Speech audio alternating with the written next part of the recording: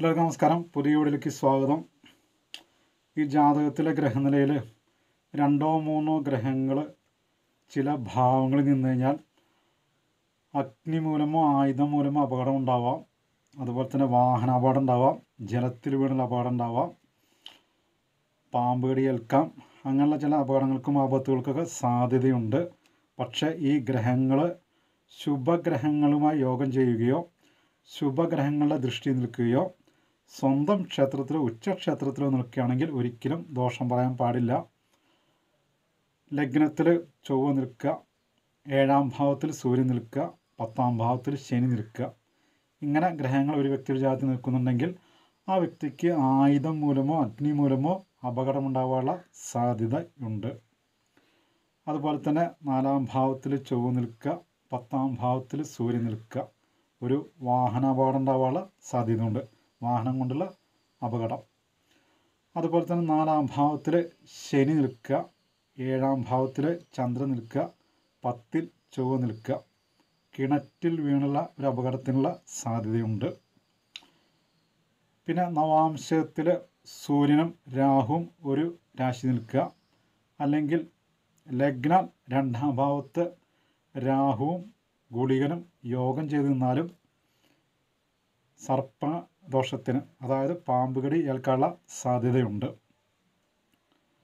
മിഥുനം കന്നി ധനു മീനം ഈ നാല് രാശികൾ ഉഭയരാശികളാണ് ഈ നാല് രാശികളിലൊന്നിൽ ലഗ്നമായി വരിക. ആ ലഗ്നത്തിൽ സൂര്യനും ചന്ദ്രനും യോഗം ചെയ്ത് നിൽക്കുക. അല്ലെങ്കിൽ സൂര്യനും ചന്ദ്രനും പരസ്പരം ദൃഷ്ടി ചെയ്ത് നിൽക്കുക. ഇങ്ങനെ സംഭവിച്ചാലും ജലത്തിൽ വീണുള്ള ഒരു അപകടത്തിന് സാധ്യതയുണ്ട്. മേടം വൃശ്ചികം. ഈ രാശികളിൽ ഏതെങ്കിലും ഒന്നിൽ ചന്ദ്രൻ നിൽക്കുക. ആ ചന്ദ്രൻ പാപ മധ്യസ്ഥനാവുക അതായത് ചന്ദ്രൻ നിൽക്കുന്ന രാശിയുടെ രണ്ട് പന്ത്രണ്ട് ഭാവങ്ങളിൽ പാപന്മാർ നിൽക്കുക. അങ്ങനെ വന്നു കഴിഞ്ഞാൽ ആ വ്യക്തിക്ക് ഒരു ആയുധം മൂലമോ അഗ്നി മൂലമോ അപകടത്തിനുള്ള സാധ്യതയുണ്ട്. മകരം കുംഭം. ഈ രാശികളിൽ ഏതെങ്കിലും ഒന്നിൽ ചൊവ്വ നിൽക്കുക. ആ ചൊവ്വ പാപ മധ്യസ്ഥനായി കഴിഞ്ഞാൽ തൂക്കുമരമോ അഗ്നി മൂലമോ അപകടമുണ്ടാവാമെന്നാണ് പറയുന്നത്. അതുപോലെ തന്നെ ലഗ്നത്തിൽ സൂര്യൻ ചന്ദ്രൻ ശനി ഏഴാം ഭാവത്തിൽ ചൊവ്വ ഇങ്ങനെ ഒരു വ്യക്തിയുടെ ജാതത്തിലുണ്ടെങ്കിൽ യന്ത്രത്തിൽ കുടുങ്ങിയുള്ള അപകടത്തിന് സാധ്യതയുണ്ട്. യന്ത്രം കൊണ്ടുള്ള അപകടത്തിന് സാധ്യതയുണ്ട്. നാലാം ഭാവത്തിലോ അല്ലെങ്കിൽ പത്താം ഭാവത്തിലോ സൂര്യനും ചൊവ്വയും യോഗം ചെയ്ത് നിൽക്കുകയാണെങ്കിൽ കല്ല് കൊണ്ടുള്ള ഒരു അപകടത്തിന് സാധ്യതയുണ്ടാണ് നാലാം ഭാവത്തിലോ അല്ലെങ്കിൽ പത്താം ഭാവത്തിലോ സൂര്യനും ചൊവ്വയും ഒരുമിച്ച് നിൽക്കുകയാണെങ്കിൽ കല്ല് കൊണ്ടുള്ള അപകടത്തിന് സാധ്യത. ലഗ്നത്തിൽ ബുധൻ നിൽക്കുക. നാലാം ഭാവത്തിൽ ചൊവ്വ നിൽക്കുക.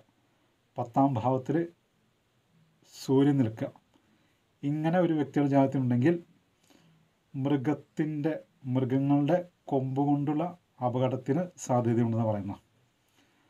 അതുപോലെ തന്നെ രണ്ടാം ഭാവത്തിൽ ചന്ദ്രൻ നിൽക്കുക നാലാം ഭാവത്തിൽ ചൊവ്വ നിൽക്കുക പത്താം ഭാവത്തിൽ സൂര്യൻ നിൽക്കുക. ഇങ്ങനെ ഗ്രഹങ്ങൾ നിന്നാലും വാഹനം മൂലമുള്ള അപകടത്തിന് സാധ്യതയുണ്ടെന്നാണ് പറയുന്നത്. അതുപോലെ തന്നെ നാല് നാലാം ഭാവത്തിൽ സൂര്യൻ നിൽക്കുക എട്ടിൽ ശനി നിൽക്കുക പത്തിൽ ക്ഷീണ ചന്ദ്രൻ അതായത് ബലമില്ലാത്ത ചന്ദ്രൻ നിൽക്കുകയാണെങ്കിൽ കെട്ടിടം തകർന്നുള്ള അപകടത്തിന് കെട്ടിടം തകർന്ന് എന്തെങ്കിലും അപകടം പറ്റാനുള്ള സാധ്യതയുണ്ടെന്നാണ് പറയുന്നത്. അപ്പോൾ ഇതൊക്കെ ഈ ഗ്രഹങ്ങളൊക്കെ നിൽക്കുമ്പോൾ ഞാൻ മുന്നേ പറഞ്ഞ പോലെ ശുഭഗ്രഹങ്ങളിൽ വീക്ഷണമോ ശുഭഗ്രഹമായി യോഗം ചെയ്യുകയോ അല്ലെങ്കിൽ സ്വന്തം ക്ഷേത്രമോ അല്ലെങ്കിൽ ഉച്ചക്ഷേത്രമൊക്കെ നോക്കിയിട്ട് വേണം ഫലം പറയാൻ. അപ്പോൾ ഇനിയും ഇതുപോലുള്ള വീഡിയോയുമായി ഞാൻ നിങ്ങളുടെ മുന്നിൽ വരാം. എല്ലാവർക്കും നന്ദി നമസ്കാരം.